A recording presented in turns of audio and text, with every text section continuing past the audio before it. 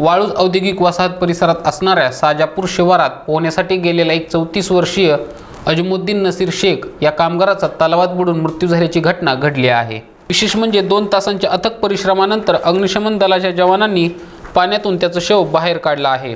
वाळूज औद्योगिक परिसरातील साजापूर येथील तलावात नागरिकांनी शव पाण्याबाहेर काढण्याचा प्रयत्न केला होता मात्र ते शक्य होत नसल्यानं अखेर अग्निशमन दलाच्या जवानांनी धाव घेऊन त्याचं शव बाहेर काढलं आहे. यावेळी Waluj M I D C police सुद्धा उपस्थित होते. दरम्यान शव घाटी रुग्णालयात पाठवण्यात आला आहे. इकडे हे पोरं आलते पाहुण्यासाठी. तर आमचे नजीरबाई आले बारा वाजता. आणि त्याला एकूण हाकलून नेलं. त्याच्यानंतर वापस पुन्हा आले ते इकडं. आल्यावर ते दोन तीन पोरं होते. दोन तीन पडून गेले. हे खोल पाणीमध्ये गेलं तर काही पावता येत नव्हतं याला. हा डुबला. आम्हाला अ, एक तरुण तळ तलावामध्ये बुडाल्याची माहिती मिळाली.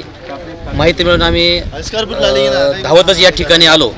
आल्यानंतर चार पाच जणांनी मिळून त्याचा शोध घेण्याचा प्रयत्न केला. परंतु तो गाळामध्ये रुतला असल्यामुळं तो वर आणताना अडचणी आल्या.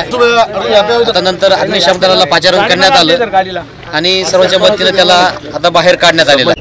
Aurangabad fire brigade incharge Sanjay Kulkarni. अ, आम्हाला सोळा वाजता कॉल आला.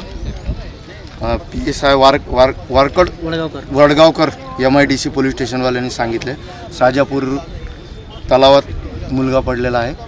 आम्ही आल्या आल्या एक दहा मिनिटात मुलगा बाहेर काढलेला आहे. घटनेची माहिती गावात पसरल्याने गावातील लोकांनी तलाव परिसरात मोठी गर्दी केली होती. यावेळी नागरिकातून कोविडचे सर्व नियम मोडीत निघाल्यानं अखेर पोलिसांना सौम्य बळाचा वापर करत नागरिकांना पेटाळून लावावं लागलं आहे. Sandeep Lokhande Star Maharashtra news Waluj Aurangabad.